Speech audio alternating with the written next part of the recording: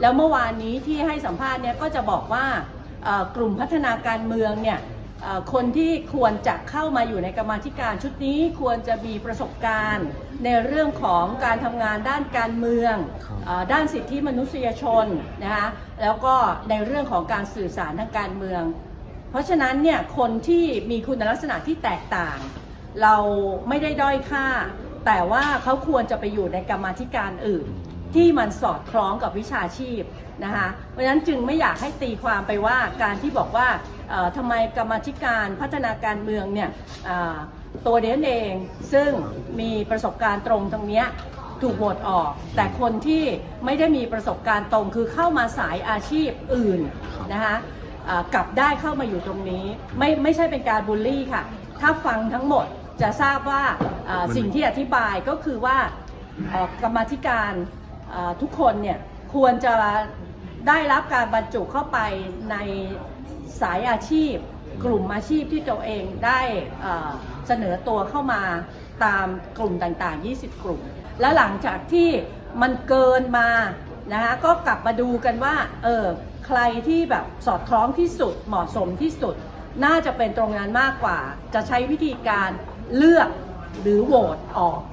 เพราะถ้าโหวตออกมันก็จะใช้เสียงข้างมาก แล้วคนที่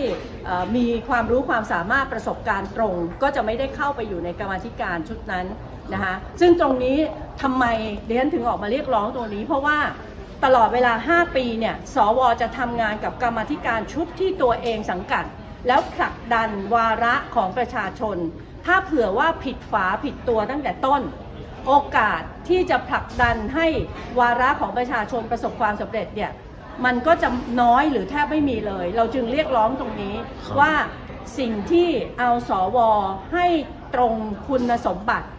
เข้าตรงกับกรรมาธิการเนี่ยจะเป็นสิ่งที่สอดคล้องแล้วประชาชนได้ประโยชน์สูงสุดค่ะ พอใช้คำว่าบูลเอยคำว่าเขียงหมูมันมันกลายเป็นเซนซิทีฟถึงแม้ว่าเอ่อการสื่อสารของอาจารย์อาจจะอาจจะไม่ได้เป็นแบบนี้ครับ แต่จำเป็นต้องขอโทษสังคมหรือเอ่อคนที่โดนพาดพิงไหมครับอาจารย์จะบอกว่าเอ่อถ้าถ้าฟังการให้สัมภาษณ์ทั้งหมดจะเข้าใจบริบทว่าครับเรากำลังพูดถึงเอ่อ การที่สวเข้าไปทำหน้าที่ในกรรมธิการ ควรจะเป็นไปตามสายอาชีพที่ตัวเองเข้ามา แล้วก็จะได้แสดงศักยภาพตรงนั้นเดยวฉันยกตัวอย่างไปอันนั้นเนี่ยเพื่อที่จะบอกว่าการจัดสรรแบบนี้มันมันไม่เป็นธรรม แล้วก็ประชาชนไม่ได้ประโยชน์อะไรกับการที่ใช้วิธีการโหวตเลือกเข้ามา